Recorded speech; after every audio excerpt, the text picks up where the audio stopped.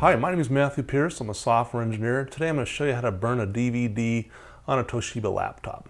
Now, first of all, you have to have a Toshiba laptop with a DVD burner. Typically, they're over here on the side, and you push a button and they come out and you can put your uh, blank DVDs in there. But it has to be a DVD burner. You can't burn it on a CD burner. It has to be a DVD burner.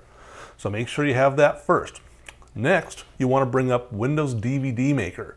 And that is an application that allows you to grab video and DVD and, and pictures off of your uh, laptop and burn them onto, the, onto a DVD. So what you do is you bring that up and then you go to click on add items.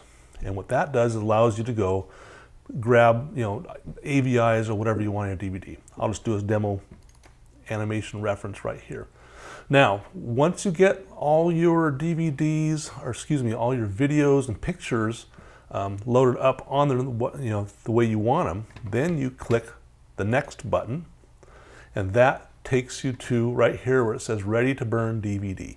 At that point, you click the burn button, it will pop open the DVD player and ask you to put in a blank DVD, put one in, close it up, and wait, and it will burn it for you. And that is how you burn a DVD on a Toshiba laptop. Thanks for watching.